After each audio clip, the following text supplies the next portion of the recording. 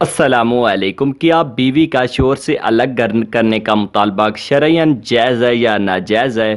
فساد کی جڑ بنیاد یہی ہے کہ بیوی ساس کے ساتھ نہیں رہ سکتی، اس کو الگ گھر چاہیے۔ یہ تو شور کے ذمہ ہے کہ وہ اس کو ایسی جگہ ٹھہرائے گا کہ اس میں کسی اور کا عمل دخل نہ ہو، لیکن اگر شور میں ہمت نہ ہو کہ اس کو الگ گھر میں ٹھہرائے، تو اسی مکان کا ایک حصہ اس کے لیے مخصوص کر دیا جائے۔ وہ اپنا کھانا کھائے، اپنا پکائے، نہ اس کی ذمہ داری کسی پر ہو اور نہ ہی کوئی یعنی کوئی اس کا ذمہ داری اٹھائے۔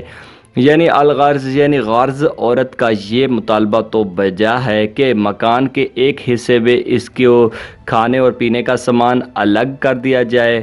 یہ شور کی استحاد پر ہے۔ اگر اس کے پاس اتنی گنجائش نہ ہو تو الگ مکان کا مطالبہ نہیں کر سکتی۔ نمبر دو، دوسری بات یہ ہے کہ بیوی کے الگ گھر کے مطالبے کرنے کے اسباب دیکھے جائیں گے۔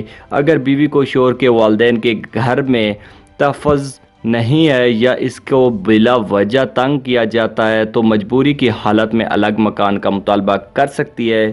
بیوی کو بھی چاہیے کہ وہ مکان ساس سسر کو اپنے والدین سمجھیں اور اس کے بعد اس شور کے بہن بھائیوں کو اپنا بہن بھائی سمجھے۔ اور اگر بیوی ایسا کرے اور خامند کے گھر والے بھی اس کو اپنی بیٹی اور بہن سمجھے تو یہ فتنہ فساد پیدا ہی نہیں ہو سکتا۔ نمبر تین، جہاں شور مناسب زیادہ سے مناسب سمجھتا ہے، اپنی بیوی کو روکے گا۔ اگر شور سمجھتا ہے کہ اس کی بیوی کی عزت و عصمت کا زیادہ تحفظ اس کے والدین کے گھر میں ہے اور بیوی کے سارے حقوق پورے کر رہا ہے، تو ایسی صورت میں بیوی الگ گھر کا مطالبہ نہیں کر سکتی۔ نمبر چار، اس کے علاوہ معاشرے کے اندر ایک بات جو قابل غور ہے وہ یہ ہے کہ اکثر اوقات بیوی اپنے شور سے صرف اس لیے الگ گھر کا مطالبہ کرتی ہے تاکہ وہ اپنے دوست و احباب کو دعوت دے سکے۔ وہ ہر وقت آزاد گھوم پھر سکے۔ گواہ وہ غلط مقصد کے تحت الگ گھر کا مطالبہ کرتی ہے، کیونکہ وہ اپنے یہ غلط مقصد کے، اپنے خامد کے والدین کی موجودگی میں پورے نہیں کر سکتی۔ یہ حرام ہے۔